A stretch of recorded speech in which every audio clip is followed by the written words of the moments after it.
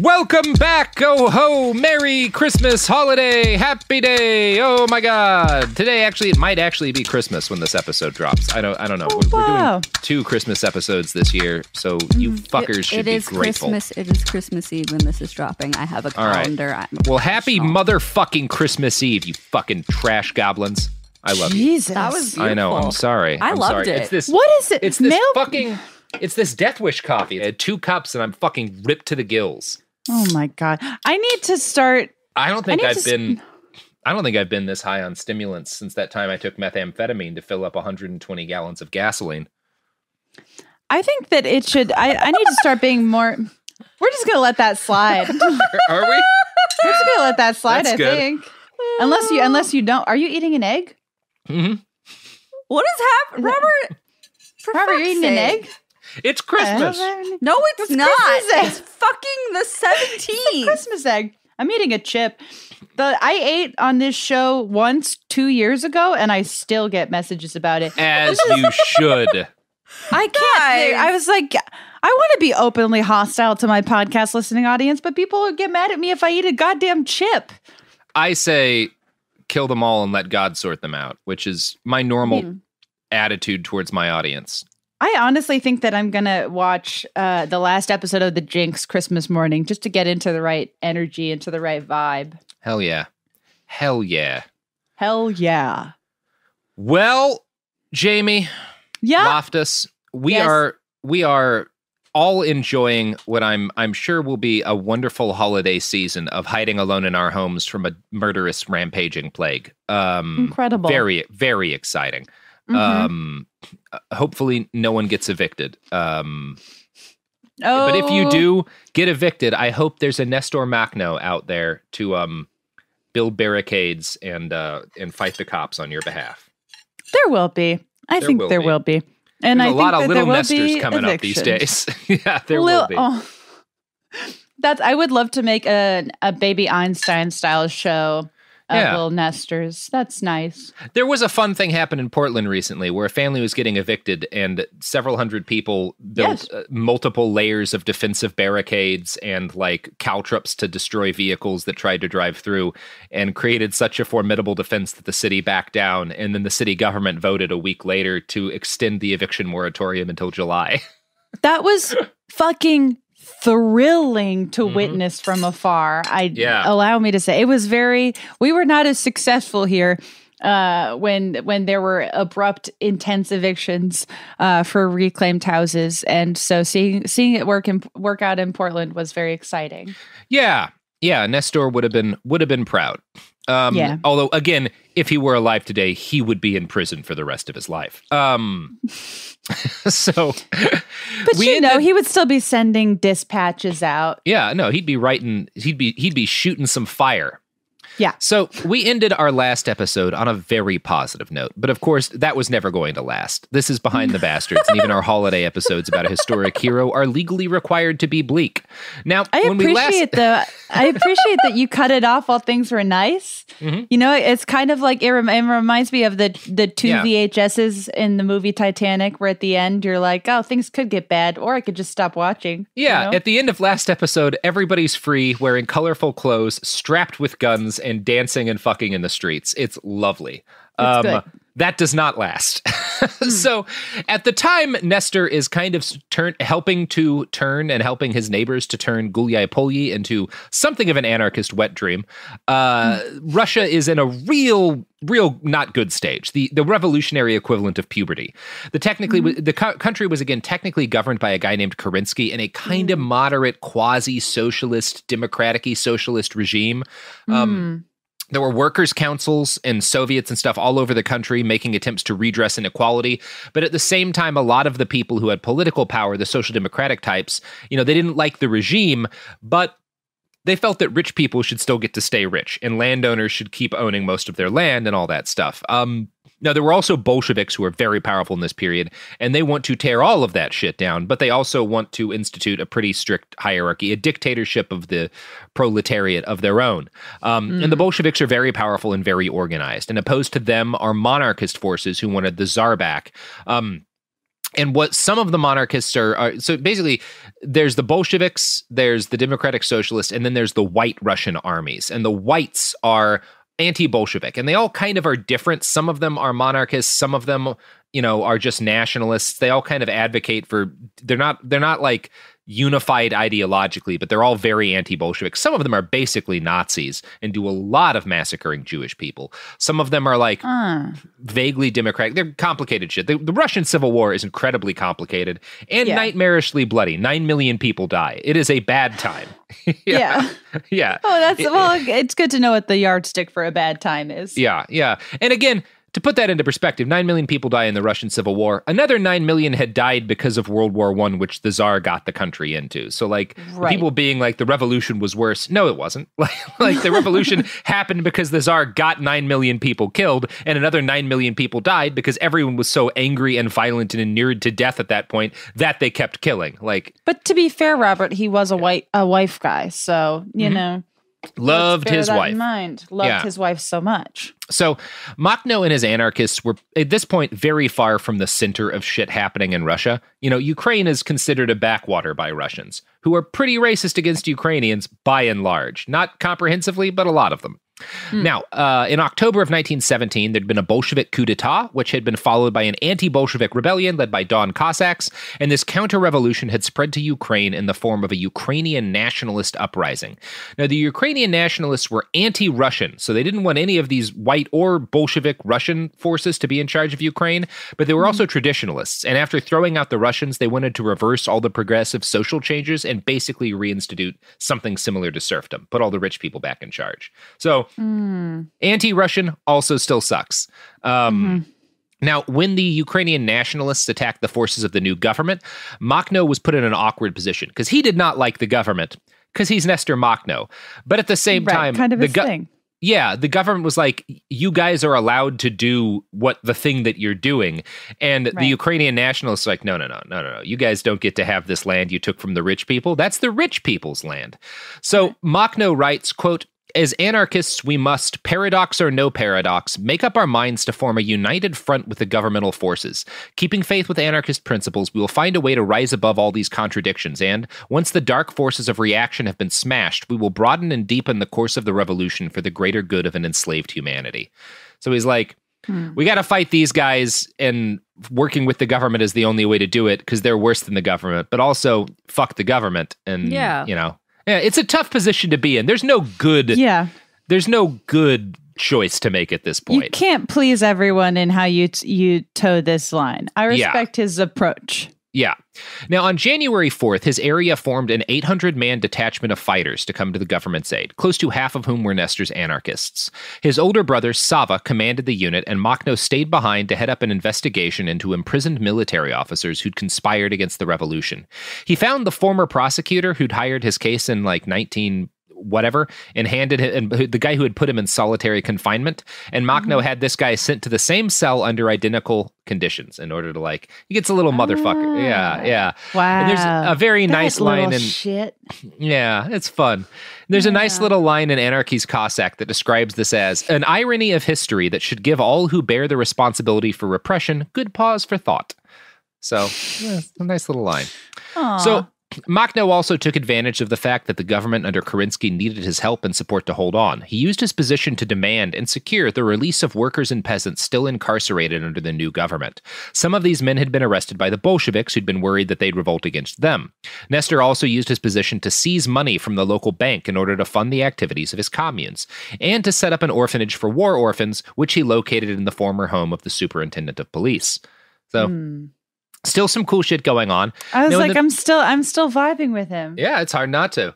Uh, I'm like trying not to scroll down in his Wikipedia because I'm like, wow, he's like a, a hot, nice guy who goes to prison a lot. He is pretty hot. not? Yeah, yeah. Why not?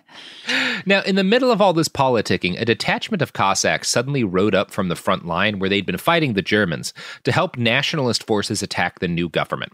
Nestor took command of a detachment of anarchist fighters and ambushed the Cossacks, inflicting enough punishment that they'd surrendered, which brought Makhno and his comrades a whole pile of exciting new weapons. They get like their first machine guns and stuff during this period, and they're very excited about that.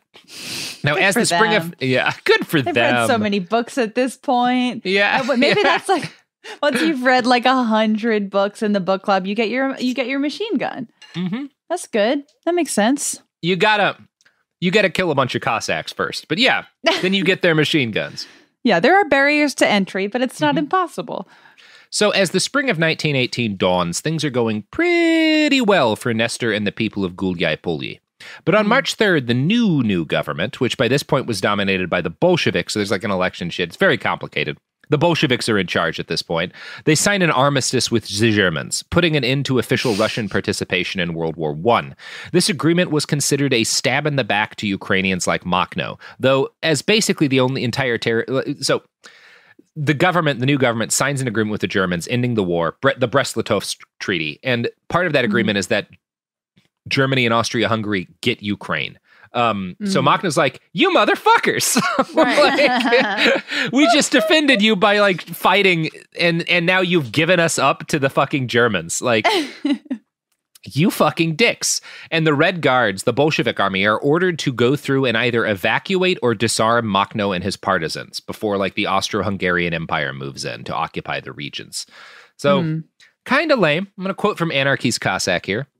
Guided by their local allies and bringing in their wake the former great estate owners thrown out the year before by the revolutionary peasantry, almost a million Austro German troops occupied the territories ceded by Brest Litovsk. The extractions and repression of the occupiers and of the Ukrainian oligarchy quickly triggered a popular resistance movement. Dozens of local insurgent detachment, detachments sprang up to harry enemy troops, engaging in a savage war of national liberation. Now, hmm. Nestor had not been ready for this. He did not expect the government to betray him. And after a, which he probably should have, in fairness, and after I mean, a decent, yeah, yeah, that's youthful, youthful optimism, I guess. Mm-hmm. Now, after a decent amount of fighting, he found his forces routed and he himself was stuck in a railroad marshalling yard where he learned that Gulyai Polyi had been occupied by Austro Hungarian forces. All the members of the local Soviet, the Revolution Committee, and the anarchist group were arrested. Many of them were executed. Communes were broken up and the land was given back to the wealthy men who had owned it before.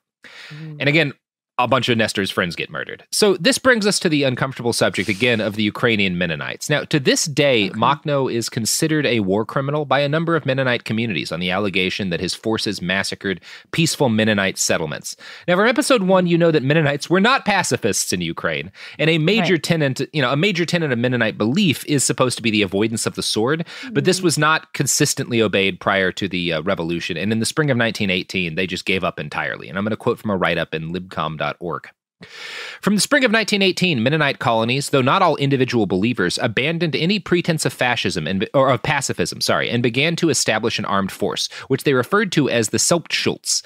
For those who participated and their descendants, this resort to violence presents a problem of conscience. For 400 years, through various persecutions and martyrdoms, Mennonites had, and to an extent at least, renounced the sword. Now, gangs of men armed themselves in zealous support of the invading Austro-German armies. It is worth observing a sort of logical contortions that were necessary to defend this course of action.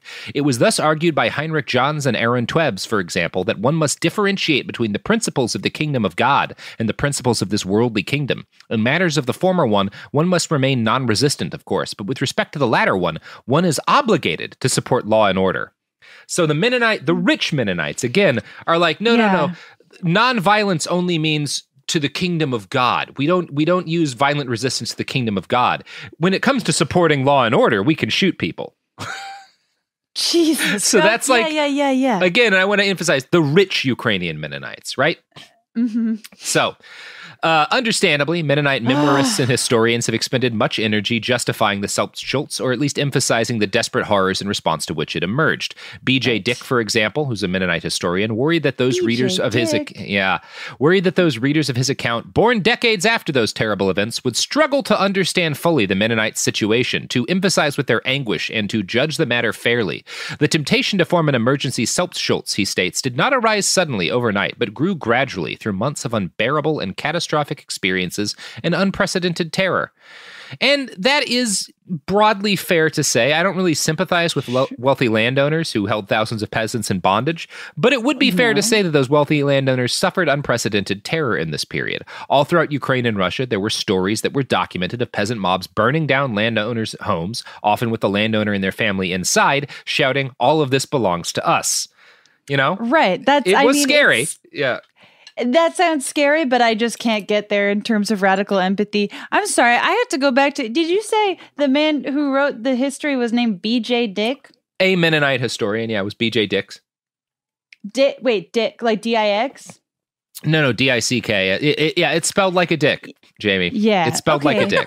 But and then uh, to use the name B.J. Dick, to come sorry. before it. I'm just saying. I know, like, I know, I know, Jamie. you I could change. You could. You don't have to go by BJ if your last name is Dick. That's he had a a lot of options and he made a choice. And He really, yeah. he, he made Yeah. a choice, okay? Just Like, like the wealthy. Mennonite landowners made a choice to have a militia dedicated to massacring the peasants trying to uh, secure their own freedom. That said, yes, that's true. That's Yeah. the larger issue at hand. Yeah. So obviously, again, there were real reasons for them to be terrified because terrifying Sure. things happened to landowners in this period. And rather Sure. ironically, Gulyai Polyi was one of the places where this mostly did not happen. When Makhno and his people handled appropriations from the rich, they demanded itemized lists of everything the landowners owned.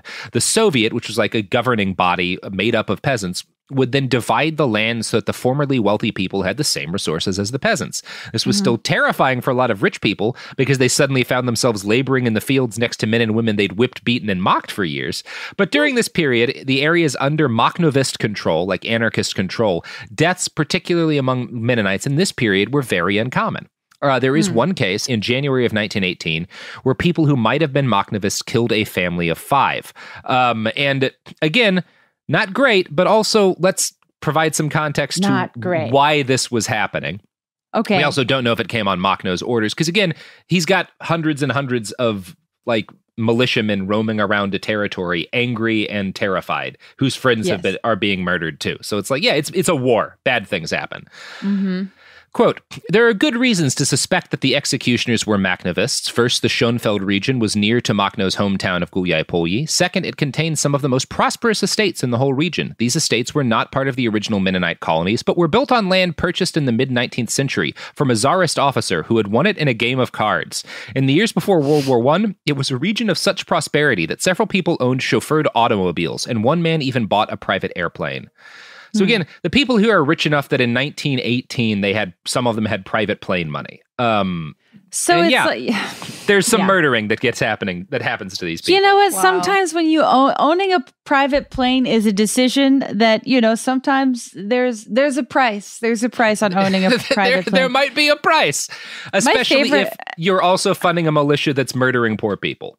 Yeah, Yeah. like f- fuck off. Ugh, one of my favorite hobbies is every time like a, Yeah. a huge, huge, huge celebrity posts about global warming to just look up if they own a private plane. 100% of the time they do. Yeah. And it's like, oh, okay, you're just, okay, so, you know, What's really funny, Jamie, is to get Yeah. on Flight Radar 24, or I mean, ADSB Exchange used to be the best place, but now it doesn't work as well. But get on one of the plane tracking apps, figure out the N numbers, which is the basically the plane license plate number, uh, and Mhm. figure out the N numbers of rich people's private jets, and see how often they take their private jet from one airport to another in the same city. Happens all the time. A lot of JFK to LaGuardia flights from rich fu- people in fucking New York who are these yell about motherfuckers. I know, right? Fucking assholes. Why? Oh my uh, God. Because they want to skip traffic. Oh. oh. I want to. Oh my. Okay. That's like the, you know, the scene from Scanners where the head explodes. That's Yes. Yeah. fuck. Okay. Great stuff. So Love there that. is again, yeah. Again, I, I don't know that Nestor had anything to do with this. There's certainly no evidence that he had anything to do with this this murder. Um, also, though, when you found a large band of armed revolutionaries who occupy a big chunk of territory, some of them are going to do horrible things because it's a war, and every single military force in every single war in history has had atrocities tied to its name. You can't not do it, and it's true of the Makhnovists, and we shouldn't forget that or pretend it didn't happen. But also, if you compare them to all of the other actors in the Russian Civil War, they're of the like like uh, like like in a similar way to you know sort of the SDF, like lower on the war crimes totem pole. Yeah. Mhm. Yeah. Lower on the war crimes totem totem pole. Not no war crimes. And again, Nestor, one of the things so like Nestor is a a a very outspoken opponent of anti-Semitism. Um he grew up with a lot of Jewish friends and he was very much like constantly haranguing his troops not to do horrible things to Jewish people. Also, anti-Semitism very common in Ukraine and there were times when Makhnovists fucking murdered Jewish people and it's terrible. Um when you've got 55,000 uh, traumatized militiamen, sometimes horrible things happens. And he Yeah. punished, he executed a lot of warlords who were responsible for pogroms against Jewish people. It was a horrible, bloody civil war, and there's no walking out of it with your hands clean, you know? Um, not to like write over that, but he does, he gives a lot of speeches being like, don't be fucking racist against Jewish people. What's wrong with you? Um, I mean, he does his best. Yeah. Yeah, he does his best. Okay, so this is like, you know, taking a taking a turn. This is where like, things get okay. morally complex. He's fighting a Yeah. war now. And there's Yeah. no doing that and keeping your hands clean. Again, he's not Yeah. ordering pogroms, but he's he's building an army, and some of those soldiers do bad things. Not just like to Mennonites, to like there's bad things that the Makhnovists do. Um, we'll also talk about what the people they're fighting do, which is on a completely different scale of mass murder. Mhm. So yeah, uh, yeah. There's there's anyway. Uh, so the Austro-Hungarians come in, they invade basically, and their arrival empowers the reactionary forces Makhno had been beating up until then. People who wanted to reestablish the old status quo, no matter who was in charge. The Mennonite militia, the Selbstschutz, fought with the invading foreign soldiers to reclaim land and property that had been collectivized.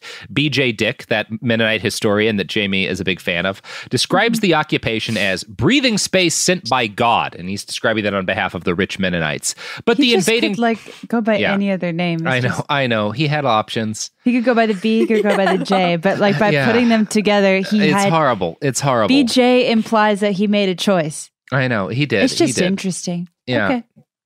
The invading troops that the Selbstschutz fought alongside were as brutal as invading troops tend to be. We have one account from a guy named John Zidius, who was a Russified Greek and a capitalist who lived in Odessa at the time of the occupation. So, not an anarchist, not a socialist, like a, a capitalist guy. This is him reporting on what happened when these troops move in and wealthy landowners get to take their revenge on the hmm. peasants. Quote, the reprisal expeditions were marked by hangings and shootings, executions dispensed with any sort of proceedings. The venom of the landlords cared not a jot for it, and the German officers gladly washed their hands of any show of a trial. They shot and hanged without any pretense of trial, often not even bothering to check the identity of the defendant. The landlord or his agent had merely to declare that such and such a peasant had been involved in confiscation of his estates, for the culprit to be summarily executed. Hmm. This happens on a scale of tens of thousands. So, once Gulyai was occupied, Nestor Makhno's mother was punished in this way. Her house was burned down. I don't think she lives through this.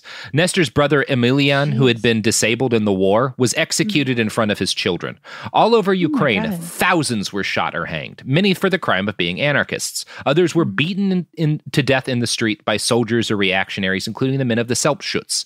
Um, I should note here that the violence was heavily class based. This Mennonite militia worked with German soldiers to execute and beat peasants. They retreat, received training to help the occupiers suppress dissent. But the fighters doing this and the men funding the Selbstschutz were rich, or at least well off. There were a lot of poor Mennonites who they killed, and some of these Mennonites took part in Makhno's revolutionary other revolutionary activity. And I want to note that that like when we're talking about you know these different ethnic groups Mennonites, Russians, Germans. There are poor members of all of these groups who are fighting against like the forces of reaction and stuff. Right, Um, of course. Yeah. Okay. And and um, that's a big thing Makhno tries to emphasize is that like we're not angry at the Russians or the Germans or the Jews. We're angry at rich people who are murdering us. Like that's the problem. Um, That's a he's- solid common enemy. yeah. Uh, Elaine Enns, a Mennonite historian, writes about this period. Many landless Mennonites became servants on wealthy Mennonite estates, and some became so disillusioned that they joined the communists and anarchists to fight for a more just society. So the same social fault lines that led to the Russian Revolution ran right through my grandmother's yard. In most cases, our people were not targeted because they were Mennonite, but because they were wealthy. So, again, very complicated issue, but is primarily breaking Yeah. down on class. Now, some of the Right. people who are committing murders are doing it based on race, which is like a thing that Makhno tries to prevent, but it does happen, and that's that's terrible. Uh, Okay. It's generally a terrible war. Now, Nestor Makhno was forced to flee north to Moscow after his town is taken over, and he meets with Lenin, uh, who basically is like, "Hey, buddy, you're on your own." Um, and I'm going to read. There's a good write up in his. Yeah, So he, uh, sorry, j- just to clarify, he, so his whole family is dead. At a lot point. of his family not all of them, not everyone, a bunch of them. almost everyone. Okay, hmm Yeah, and he doesn't really know. Like he loses his wife and child in this period. He, does- he never even learns if they're killed or not. Mm. Um, like it's he's a guy who deals with some shit. Um, so there, I'm going to read from a write up in History Today about his meeting with Lenin. Makhno, conscious of his youth and crudeness, was embarrassed by Lenin's magnetism and authority. He found himself beginning to venerate the man most responsible for the persecution of the anarchists. He was unable to find the words and arguments he needed. At the end of the interview, Lenin gave instructions that his return to the Ukraine should be assisted by the Bolshevik organization in charge of illegal frontier crossings. Makhno was given false papers and set out. By the appointed date, he was hiding with the peasant friends some 15 miles from Gulyai Polyi. So he meets with So- Lenin. and Lenin helps him sneak back in, but is like, we can't really help. And it's kind of the way that this talk is described. Lenin's like, it's weird. Yeah. you anarchists are kind of full of shit, but I like you, and like I want you to fight the occupiers of Ukraine, which I uh, I'm partly responsible for Ukraine being occupied. But like you know, this is With- yeah. Men are so weird. So yeah, he's like, oh well, you know, you gotta hand it to him. He's Yeah. a really charismatic. he- he- there's like a couple of where he's like anarchists are shit, but like you're an exception. You're all right, Nestor. Like But look at that mustache on Yeah. you. He like Yeah. It is, Okay. I, I guess, in fairness to Lenin on the whole giving Ukraine to the Austro Germans, if you're in charge Love of Russia in starts- late 1918 or in early 1918, there are no good options, right? Like everything Mm-hmm. Sure. is shit because the Tsar left you in a like. There, Lenin didn't have a lot of good things he could have done there. Like it's understandable that Makhno and his friends are furious, but like I don't know how you get out of World War One if you just take over Russia at the end of 1917. Like, yeah, there's no win. God. Okay, so the boys So, are vibing. You know, boys- yeah, sure we have They vibe a little bit. Sure, Yeah, I've been yeah. persecuting your comrades, but Yeah. like we're vibing here. We're vibing. I'm going to help you sneak back into Ukraine to fight the Austro Germans. So Makhno sneaks back in and he starts building up bit by bit, like running around at night and like dressing as a woman sometimes. He like gathers up all of these sort of like bandits and stuff together, these anarchists who have very like fled. Robert Durst. yeah, very, very Robert Durst. Yes. Wow. Um, so he's he builds up a little partisan army, and they start raiding landlords' homesteads. You know, killing landlords. And in this case, they did not do that initially. After the landlords come back and start mass murdering their friends, they start shooting some landlords. Which at this point, it's kind of self defense. It's like we we tried say, to do this peacefully. yeah. the level the level of restraint it, Yeah. it- honestly with this group Yeah. seems like there's a lot of restraint at play if it took them this long we tried to do this peacefully and you started murdering us as soon as you had a chance. So now we're going to kill some of you. And they do that. They don't kill everybody, but they start murdering some people. They steal their shit. They A get guns. They start carrying out uh, ambushes on Austro Hungarian patrols and like killing small patrols of soldiers and taking their weapons and building up their forces. Uh, his partisans sh- showed no quarter when they beat a group of like foreign soldiers, they would kill them all. Uh, their slogan was Death to all who, with the help of German Austrian bayonets, take away from peasants and workers the conquests of their revolution. that's a bit long but Um, It's a bit sure, long, bit long. Again, he could barely read. That's, i'm just saying you know the ukrainian novelty t-shirt industry is going to struggle to get that on a that's a hard shirt. t-shirt to make for sure. that's difficult you know like maybe i killed them all of course just Yeah. to keep pulling inspiration So, bit by bit, Makhno attracted followers and acquired weapons. He began experimenting with guerrilla warfare and, in fact, innovating. At first, the most his men could do was carry out strikes on small, isolated patrols of soldiers and their allies, including the Selbstschutz, mm. that Mennonite militia. As his band and his resources grew, Nestor's mind began to open to new militant possibilities. See, there were these carts, these horse drawn carts called net, net, netchankas, and they were basically, mm. again, like the horse drawn equivalent of a pickup truck. So, it's a horse drawn cart with a big mm. flat bed in the back. This mm. would have been similar to the thing he would have bought as a young man to help on his brother's farm. So these are very common. There's tons of these carts all over the place, and they do have access to a good number of horses. And his partisans start capturing a bunch of heavy machine guns, which were great weapons for c- carrying out ambushes, but are heavy and they're slow to set up. So they're not great for a a a like um a partisan militia because it's hard to move with them. So Nestor hits upon the brilliant idea of bolting these machine guns to the flat beds of these uh, these horse-drawn carts and using them, driving them around and using them to shoot people and move very quickly. And he invents the first technical in world history. Like these are, you see this all over the Middle East now, trucks with machine guns in the bed. This is how that Yeah. all starts. They're called, um, yeah, they're called tachankas. Um, and yeah, he use- so he uses them both because you can move them into position quickly and immediately start shooting. And if you wind up like biting off more than you can chew while you're retreating, because the gun is in the bed, the horse can be moving away from the enemy and you can still be shooting them. Like it's awesome. I just, I just, I remember when horses were trucks, Robert? Yeah, Remember hor- horses are trucks, and Nestor's horses like, are trucks. we should get a machine gun involved in this action. We Yeah. gotta get these horses fucking strapped, baby. Uh-huh. Everyone is strapped in Nestor's truck. yeah. Oh my god! Uh, so the so- horses are trucks, and the trucks are fucking strapped. The the guns. strups have Gatling gun type thing. Well, it- Maxim guns on them. Yeah. Okay. So Makhno's forces come to rely so heavily on Tachankas for mobile firepower that one of his soldiers starts referring referring to the anarchist militia as a republic on Tachanki, basically like a a mobile republic of gun trucks. Like that's that's what we have now. They took away our town, so now we're like a, a traveling republic of machine guns. Mhm. Yeah. Nice. Yeah. So in those early days, Makhno's growing anarchist horde was, yeah, basically a moving republic. It was September of 1918 before he finally attacked and recaptured Gulyai but his forces were pushed out again by an Austrian led counterattack. Makhno led his men in a tactical retreat uh, as he was able to recognize his opponents had overextended themselves. And a few days after this, 80 miles away from his hometown, he surrounded, attacked, and wiped out a force of 2,000 Austrian soldiers and their allies. And this brought his army their first artillery and heavy weapons. By December, the Austrians had withdrawn entirely. Their puppet leaders had been overthrown, and Makhno's anarchists were, for a brief time, the undisputed protectors of a widening cordon around Gulyai Polyi. Makhno intended this core of free territory to constantly expand, bringing a new egalitarian social and economic order to an ever expanding chunk of eastern Ukraine. By mm. 1919, hundreds of thousands of people were engaged in experiments with a new anarchist social order, the first time something like this had been done on such a scale. And there was a, a, a, pamphlet that Makhno had published during this time called What Are the Makhnovists and What Are They Fighting For? This was in actually like eight, uh, 1920, but similar stuff was going around in 1918. okay. And yeah, one of the notes on that, like in terms of explaining their beliefs to new people who wound up in their area, what do we mean by emancipation?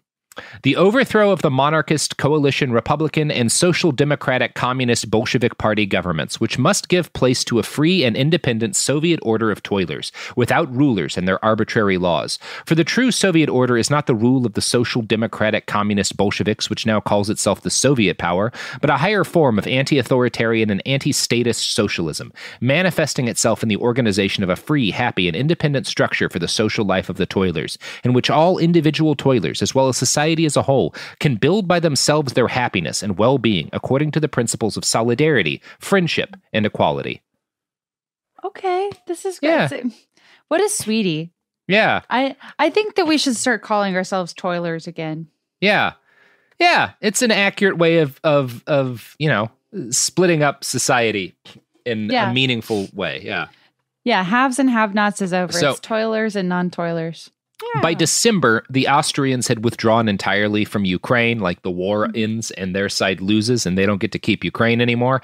Their puppet leaders were overthrown, and Makhno's anarchists were, for a brief time, like in charge of this shit. So, um, Makhno's territory was not perfectly consistent to his values. Uh, obviously, the white forces were growing in strength, and it was clear that if they reoccupied the now anarchist territories of eastern Ukraine, mass slaughter would follow. To prevent this, an army was needed, and general mobilization was the only real way to build an army. Uh, peasant and workers' councils voted to mobilize, but the fact that the end result was close to conscription has to be acknowledged. Like, compromises are made from their ideal social order for the fact that they need as many fighters as possible, right? Um, now, these fighters also had like famously high morale, so it does suggest that the vast majority of these people, again, who'd mostly had family members killed by reactionaries, saw military service as necessary self defense.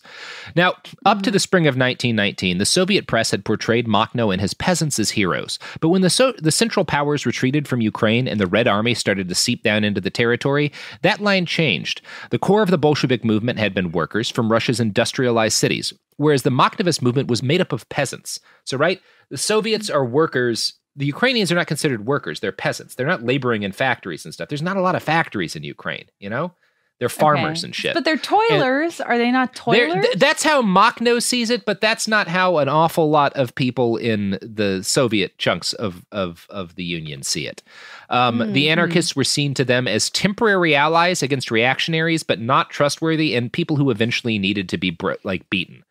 By June, Mhm. though, a white army general named Denikin had amassed a potent force and was in the process of reconquering huge chunks of Ukraine and putting them back in the hands of their ancestral oppressors.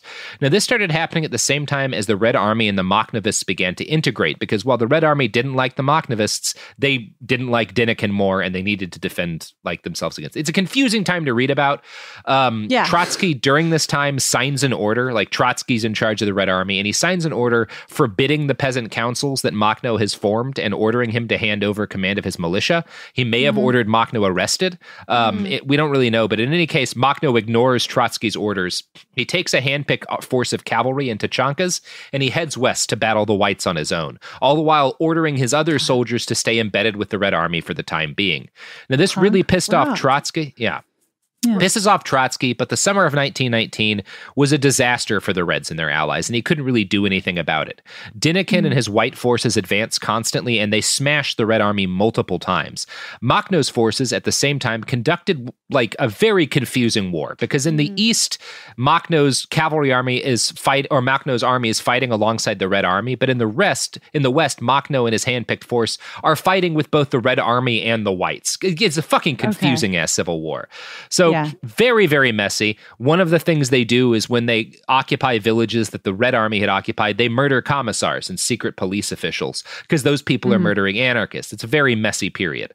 Now, Late in the summer, the Red Army in the east collapses completely. The whites just shatter them to pieces. Trotsky retreats back into Russia, and Makhno orders his remaining embedded forces to pull out and to retreat to a place called Kirovograd, where they meet up again with Makhno and his cavalry. So the Red Army is kicked out of Ukraine, and Makhno is the only force fighting the the uh, the the whites left in Ukraine at this period of time, um, or at least the only like organized force. Meanwhile, the Denikinists had conquered Gulyaipolya yet again, and their army was huge more than 50,000 well armed and battle hardened troops.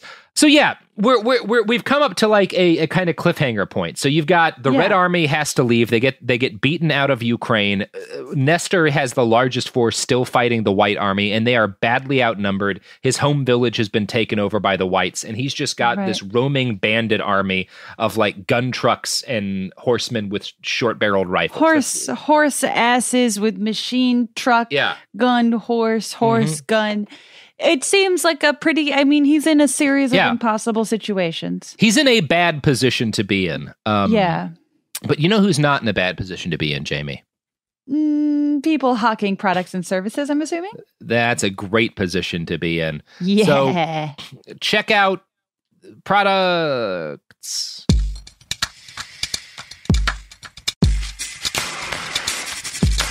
So, uh, before we tell the rest of this story, it's probably worth explaining the kind of world that Denikin and his white army, which did include a lot of Mennonite militia, were fighting for. Uh, it included a lot of just like local reactionary forces. So I'm going to quote again from libcom.org talking about what the Denikinists do in the areas they retake in Ukraine.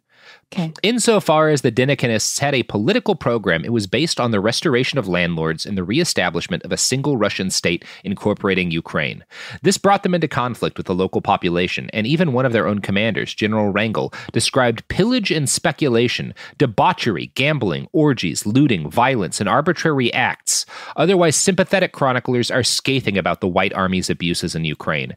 Richard Luckett, somewhat carelessly in the context, describes something near to anarchy, bemoaning the casual brutalities of the Cossacks, the regular pogroms, and other appalling acts of barbarism. They issued proclamations encouraging Russo Ukrainians to rise up against the Jew communists and were responsible for hundreds of pogroms and the deaths of tens of thousands of Jews. Many of their victims were beaten, mutilated, raped, hanged, burned, and dumped into wells or thrown from rooftops and buried alive. Arshinov states that in the former Free Territory, peasants were plundered, violently abused, and killed. Almost all the Jewish women of Gulyai Polye were raped. So this is the White Army. These are the people that Nestor is fighting against. Ugh. And to the extent that he is brutal to them, you kind of have to understand why. Um, Right. yeah Yeah, they're pretty bad. that's a mi- fucking yeah Yeah. Uh, a member of Denikin's special council, his his leadership cast, stated that the main pe- features of the Denikin regime were violence, torture, robberies, drunkenness, odious behavior. The counterintelligence service carried its activities to an unlimited wild arbitrariness, creating, as Denikin put it, a painful mania all over the country.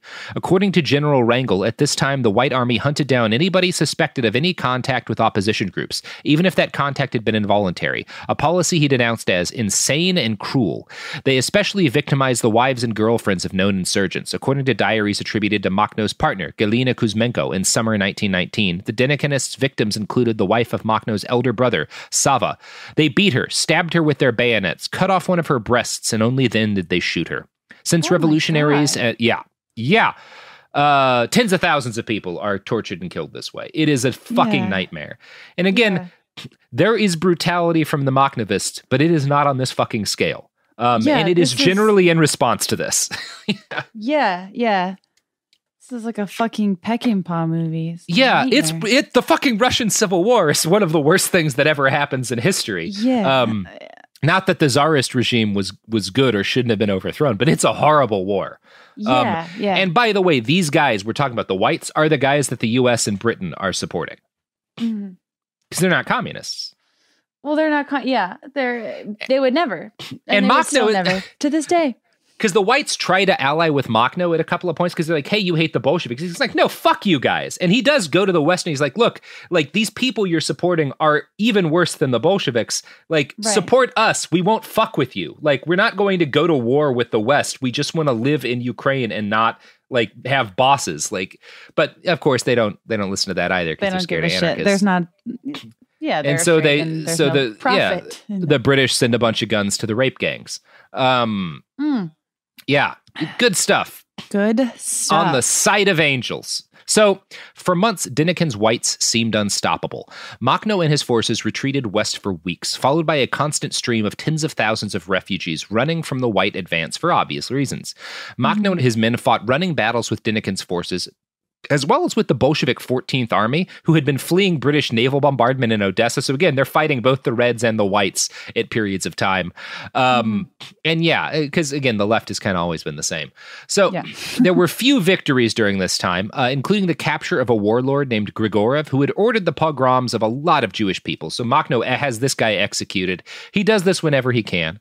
Um, And by September, Makhno's army had been pushed back 600 kilometers from Gulyai Polyi. So they've they have been fleeing for like 400 miles. Um, of solid retreat, which is exhausting. Now, there was a scholar named Arshinov who was with Makhnovist forces at this time, and he chronicles the retreat. He later wrote, the Makhnovist retreat had covered more than 400 miles and had lasted close to four months. It had been unimaginably difficult. The insurgents lacked clothes and shoes. Through torrid heat, enveloped by clouds of dust, under a hail of bullets and shells, they went further and further away from their own region towards an unknown destination. But they were all animated by the idea of victory over the enemy, and they valiantly endured the rigors of the retreat. Only occasionally did the least patient among them cry out, Turn around! Toward the Dnieper! But implacable necessity kept pushing them further and further from the Dnieper, which is a river, and their birthplace, their proud region. With an inexhaustible patience, with their will stretched to the limit, they rallied around their leader under continual enemy fire. It was impossible to go anywhere else. But Makhno recognized, so they're like, this is about as bad a situation as you can get in a military force. And his people are like, why aren't we turning around and fighting? But Makhno keeps saying, no, no, no, keep retreating, keep retreating, keep retreating.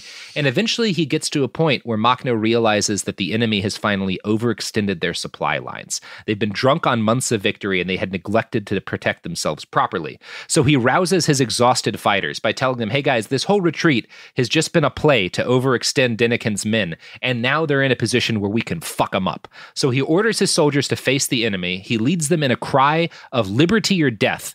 And I'm going to quote Antonov again for what happens next. This is a very famous battle. Mhm. On the evening of September 25th, the Makhnovist troops, who until then had been marching westward, suddenly turned all their forces eastward and marched straight to the main forces of Denikin's army. The first encounter took place late in the evening near the village of Krutenko, where the Makhnovist 1st Brigade attacked a Denikinist unit. Denikin's troops retreated to take up better positions and to draw the Makhnovists after them, but the Makhnovists did not pursue them. This misled the vigilance of the enemy, who concluded that the insurgents were still moving westward. However, in the middle of the night, all the Makhnovist forces stationed in several villages began marching marching eastward. The enemy's principal forces were concentrated near the village of Peregovnica. The village itself was occupied by the Makhnovists. The fighting started between 3 and 4 a.m. It kept mounting in intensity and reached, it, reached its peak by 8 a.m. in a hurricane of machine gun fire on both sides. Makhno himself, with his cavalry escort, had disappeared at nightfall, seeking to turn the enemy's flank.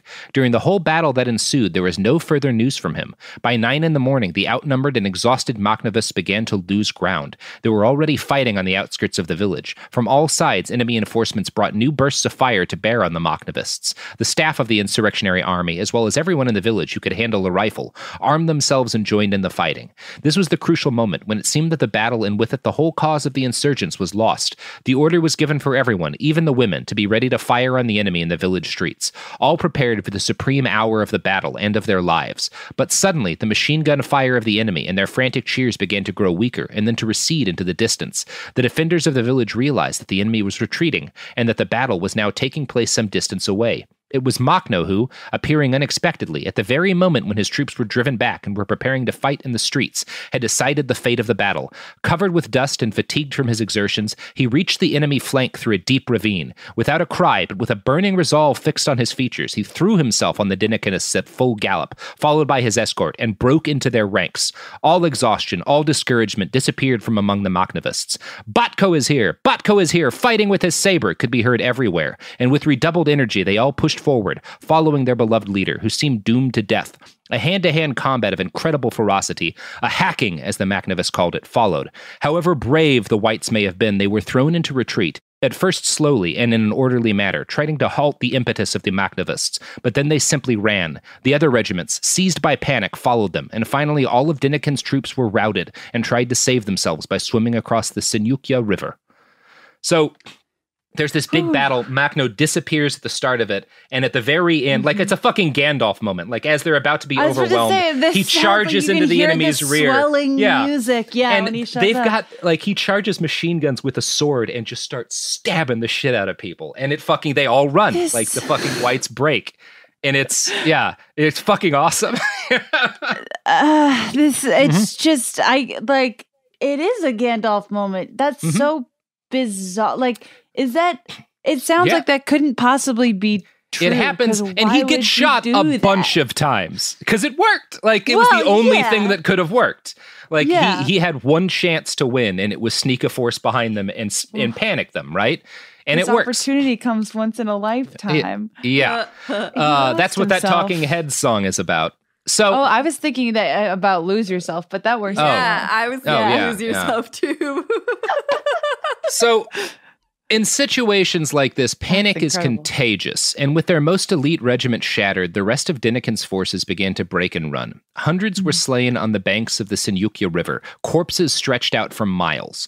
Uh, Makhno capture all of the captures thousands and all of the off he kills all of the officers he captures but he he lets the enlisted men live uh, and has a, a lot of them join the Makhnovist army after this. So this would turn out to be one of the most consequential battles of the entire 20th century because if the white forces under Denikin had beaten Makhno they would have reinforced the white army at the north which was marching on Moscow um, and might well have beaten the red army. They were winning at that point. Soldiers on the ground at the time understood this. A Denikinist officer named Sakovich who survived later wrote in a sky blanketed in autumn cloud, the last puffs of artillery smoke exploded then. All was silent. All of us ranking officers sensed that something tragic had just occurred, though nobody could have had an inkling of the enormity of the disaster which had struck. None of us knew that at that precise moment, nationalist Russia had lost the war. It's over, I said. I know not why, to Lieutenant Rozov, who was standing alongside me. It's over, he confirmed somberly. Wow. So this battle is why the whites don't take Moscow. At least a lot of people will argue that. Now, Makhnovists had advanced 400 miles east in just 11 days in one of the most rapid counterattacks in the history of warfare. They recaptured town after town, smashing white regiments that hadn't even been informed of Denikin's defeat. Denikin was forced to withdraw troops from his northern front who were advancing on Moscow to protect their headquarters in Ukraine. Max Nomad, uh, an Austrian Bolshevik and educator, declared Makhno the bandit who saved Moscow. Now, the reconquest of eastern Ukraine by Makhno came with a reckoning. Hundreds and probably thousands were executed. Makhno ordered his intelligence forces to track down and kill every soldier and local leader responsible for anti Jewish pogroms and for massacres of leftists ban- and peasants. Bandits who'd stolen from peasants were killed, and so were all white officers who were captured. Collaborators and suspected collaborators were killed in revenge for the tens of thousands who'd been murdered by Denikin's men. It is, again, a pretty fucking ugly war. Um, and Yeah. yeah, some of those people would have been innocent. That's That's, war. putting It's terrible. Yeah, it's the worst thing. It's Mhm. awful. Um, also, Famously not a lot of good options. Yeah. Mhm. No, there's no perfect in a war that's already killed millions of people. Um, Mhm. And yeah, it, it, it- what separated Makhno from the rest of the warlords and bandits rampaging through Russia in this period were his goals, the world he wanted to establish, and his sense of accountability. Makhno took complaints against his forces seriously. We have one account uh, by a guy named Volin of a student delegation who approached Makhno to complain that one of his intelligence units had flogged an intellectual in suspicion of being a Denikinist spy. Quote, the student recalled approaching Makhno's office with trepidation and being surprised at Makhno's friendly and attentive audience. After explaining that no Makhnovist should ever use the lash, for his army either shot people or released them unharmed, Makhno promised to look into the matter personally. In this discussion, he also confessed the difficulties he experienced in preventing abuses by those who professed allegiance to his command. Similarly, the report of his intelligence service's abuses led the Alexandrovsk Congress to pass resolution number three, establishing an investigative committee. So he's, you know, acknowledges like yeah you, you sometimes you can't fucking stop your uh your bandit army from murdering the wrong people it's a real problem um, It's. fair it's a fair point it's an issue I mean, he's not wrong. You No. know, it's it's this falls under the category. It's it's quite Mm-hmm. complicated, isn't it? there's no perfect when you're fighting a war that again kills 9 million people um Yeah. Yeah you have to judge him by his opponents in a lot of cases. Um now, when the fighting with the whites was over, Makhnovist forces controlled most of eastern Ukraine, an area encompassing 7 million people. Peasant and worker councils created a document by popular consent that spelled out civil liberties, rights, and duty in the region. The document advocated for freedom of speech, for freedom of the press, of conscience, of worship, of assembly, and of organization. Bolshevik newspapers, which criticized Makhno and advocated Bolshevik conquest of the region, were allowed to continue publishing. Um, this is some of the last freedom of speech that Ukraine will have for quite a while. Now, Throughout late 1919 and early 1920, the bones of a remarkable society were established in eastern Ukraine. This passage from Anarchy's Cossack gives you an idea of what was being attempted.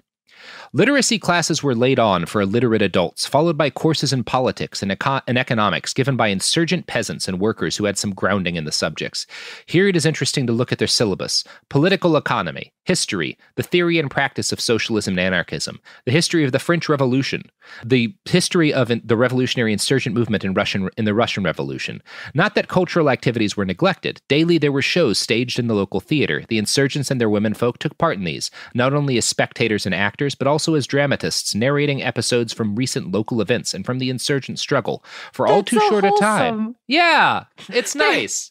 They're like, okay, so you know there were a lot of losses, but we did Yeah. get really into community theater. but we we got end, some so fucking plays. Yeah. Was it a wash? yeah. That's sweet. I like that. So at his peak in 1920, Makhno's army, which had started in 1917 with about 150 guys, numbered mm-hmm. 50,000 men. Um, I'm going to quote from History Today here, explaining how the army worked. Makhno himself, creator and leader of the insurgent army, was a man of remarkable vitality. Tough as were his companions, he could outride, outwork, and outfight any of them. He never went to bed till his task was finished, and two hours later would tap at the windows of his sleeping staff to bring them back to their jobs. He lived like a peasant and always found time for his peasants. He would talk with them, drink with them, take a hand for an hour with a flail, since, uh, hence his enormous popularity. He grew ever more engrossed with military matters and spent more and more time at the front. When sick or wounded, he was carried in a cart with the frontline troops till well enough to ride a horse again. He was daring, resourceful, persistent. He showed no signs of nerves in any crisis. So, interesting guy. Now, again, depending on, oh, yeah, before we, I guess, talk more about Makhno and what Folk happens after hero. this, yeah, we should probably, we should probably talk about our next folk hero, the products and services that support this podcast. Oh wow. Merry Christmas, Raytheon. Merry Christmas, Raytheon. Uh, they've got a missile now that can go right down your chimney.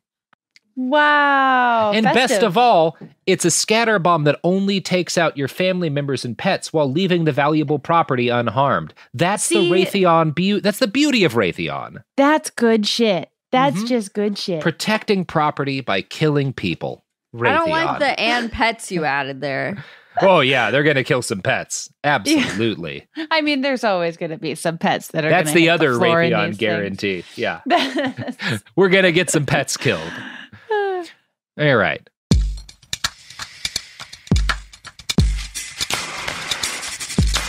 And we're back.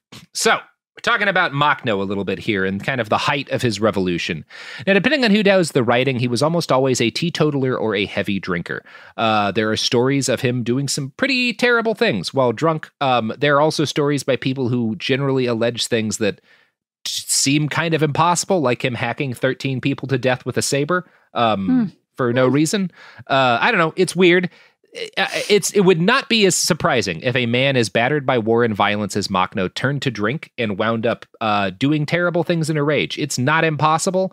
I feel like Um, that's yeah. That's at least thirty percent of the bastards episodes go that way. but that said the act like the sources who are not like clearly writing propaganda to demonize this guy after he gets defeated don't talk about that stuff. Uh, the history today write-up which is very fair um, it's paywalled but it's it's a pretty fair write-up that that is not at all written by anarchists uh, implies that his rather than talking about his drinking being like making him go into like superhuman murder rages talks mainly about the fact that it kind of made him unready for what would become the eventual betrayal of the Makhnovists by the Bolsheviks.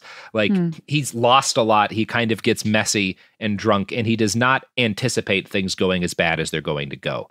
So the Red Army re-enters Ukraine late in 1919, and in early 1920 they declare Makhno and his movement outside the law after he refused to take his forces to the Polish frontier. They basically try to move him and his army to Poland so that they can separate them from the um, the peasants that support them because they want to make it easier to beat them later. Um, Okay. By the mid of the year, uh, Makhno and his men were engaged in often constant horrific battle with the Red Army, uh, with Gulyai Polyi again changing hands multiple times. So the Red Army invades and tries to fight them. Uh, whenever Makhnovist towns and cities are retaken, the Cheka, the, the Bolshevik security force, carries out purges and massacres. Numerous attempts were made to assassinate Makhno, but all failed. Uh, the fighting went back and forth until late September 1920 when the Red Army made peace with Makhno again because they needed him to fight the whites for them. So they signed a treaty with Makhno this time, promising peace and a release of all arrested anarchists and Makhnovists. But the treaty also promised that peasants would be allowed to maintain standing armies in Ukraine, and this was, of course, a lie. Once the whites were beaten again, the Red Army turns on Makhno again, and Nestor's final war with them lasts from around uh, late November 1920 to late August of 1921. It was brutal and grinding, but eventually the peasants of Ukraine Sensing a and- pattern here. yeah, it's bad. Um, and eventually, just everyone is too exhausted to continue. Uh, Makhno succeeds in fighting his way to Poland with a small force of his most loyal fighters, and he becomes an exile. Uh, he winds up in Paris, where he would spend his last years, and he was in poor health the entire time. All the wars he'd fought him had left him battered and broken and aged beyond his years. He'd been shot at least six times in a three year period, including one round through the cheek and another that pierced his thigh and into his appendix. Um, so he's in bad shape, and he was Yeah. not happy. Uh, a friend of his I wrote of his, yeah, Fair. it's hard to, yeah, yeah. Uh, you know, he he's kind of a little bit of a celebrity in Paris in this period among the left, but his a friend of his writes that he's he uh, he expresses great difficulty in adjusting himself to circumstances so very different from his former way of life. The Yeah. only thing that brings him any joy in the end is uh, going to horse races and watching the horses run. Um, Mhm. he just likes to watch them run. Now, he was bitter and prone to fits of depression. He wrote some memoirs, but the fact that he could still barely write made this a difficult task. He had a lot of intellectual friends who offered to help, but these authors authors enraged him. Like he was he kind of took it as an insult that people were offering to help him write his memoirs. Folks eventually did. Um, Ida Mett a young female writer, met him in Paris during this time, and was his friend for the last three years of his life. And it's from her that we get some of the most intimate glances into Nestor's inner life that we're likely to see. Quote from Ida I remember Makhno once telling me of his dream. It was autumn, 1927. We were walking in the Bois de Vincennes. Perhaps the beauty of nature put him in a poetic mood and made him inclined to tell me his dream. The young Makhno would return to his hometown of Gulyai start work, lead a quiet, clean life, and marry a young peasant girl. He had a good horse and good gear. He and his wife would return home in the evening after a successful day at the market selling the fruits of the harvest. They also hmm. bought presents there. Makhno got so carried away with the story that he completely forgot that he was now in Paris and had neither land nor a house nor a young wife. At the time, he and his wife were living apart. They separated many times only to reunite and try to live together again. Heaven only knows why it turned out that way. Makhno's wife probably didn't love him anymore, and who knows if she ever did. She was a Ukrainian teacher, and her views were closer to some of his op- opponents' camps. She never had anything in common with the revolutionary movement. Makhno mm-hmm. told me in Paris that at the time of his greatest power, people came and toadied to him, and that he could have had any woman he wished, but in reality, he had no time for a private life. Makhno told me this to debunk the myth about the drunken orgies he's supposed to have taken part in. Makhno was in fact a clean man, one could almost say chaste. It seemed to me that his attitude towards women combined a, combi- a kind of peasant simplicity with a respect for the weaker sex, characteristic of Russian revolutionary circles around the turn of the century. She's writing this in again 19 like 27, you know? Yeah, Um, yeah. I do. yeah. I do think it's funny that she she already frames him Mm. as not being in a good frame of mind. Is like, well, you know, we don't know how Yeah. this like these accounts can be taken at face Mm. value. And she's like, that said, he told me he could Yeah. have fucked anyone he wanted. He So, did. He did. Yeah. In that, you know. Um, I find it sad, the thing about his- sad. his dream that he just like wanted to go be a farmer back home um which he could never do um It's like yeah. what my uncle says: libertarians and plows. yeah it's a bummer uh sick and almost alone nestor Makhno died in july of 1935 uh, having s- lived long enough to see the birth and ultimate success of german fascism as well as complete stalinist domination of his homeland and the starvation death of millions of ukrainians so God, it's a Very- bleak ass ending That was merry like- christmas I was like, there's that bastards ending I know and hate. Uh, and then Jingle Bells just starts Uh, fading in. It's mhm. like, wow, I think we all da, learned da, something da, today. Da, da. dashing through the snow with a machine gun on a plow, shooting at the whites. Everyone is. La- I don't know how to finish the. There, I was like, this is the really going there. I know we somewhere. were going. We were, we were in a good direction for a little while there. Um, We got a year. We can figure it out. we'll figure it out for next year. Yeah. so that is the story of Nestor Makhno. Uh, that is a that is problematic a fave. story and a half. Yeah, yeah, I guess that is the category I would put him in. Damn, you Mhm. know, uh, a, an attempt was made. He did his best to make something better out of the worst situation almost anyone's ever been in. Like pe- peasants in Ukraine in 1917. Yeah, There was no happy ending, but he he he gave it a real good shot. Mhm. yeah, yeah. Yeah. God, all right, I'll pour one out for Nestor tonight. Pour Why one not? out for Makhno, Makhno, which he may or may not have drank, depending on whose sources you listen to. eh, well, he probably did. yeah, There, yeah. At least at I one point. Like if I Ida's, was Nestor Makhno, I would never not. I would never be sober. yeah. What? I mean, Ida says he didn't really drink as an older man, but also he was probably pretty ill, right? Like you get older, your body changes. You've been shot through the appendix. Maybe you can't In handle drinks like you used to. Yeah, Yeah, like Yeah. who even knows? You know. yeah. No, I was about to say something mean about old Nestor. No, he. Who knows? Who he knows? did his best. He did, He his, did his best, and he he lived in hard times. He did. Yeah, we can ask for no more. Um, God. Yeah. Well, I feel festive. you feel festive? You're gonna go attach a machine gun to a truck bed and fight for liberty? so festive. I'm gonna just walk into traffic. You have any plugs for us? Lock? Uh, Uh, yeah, this comes out. Santa University comes out today. If it's Christmas Hell yeah. Eve. Uh, Robert's reprising his role as Second Amendment Santa. You've got a Mm-hmm. song this year, so that's exciting. I love uh, a good song. you just demonstrated that you're up to the task, so that was a Mhm. mistake on your part. Oh, and God. and uh, yeah, you can listen to Lolita podcast on Mondays, um, and that is Woo. going to be coming out through January. So those are those are my things. Yay! Hey, Woot, woot. Woot woot in the boot. All right. And we'll Well- be, and we'll be back with this podcast uh, uh, the first week of January.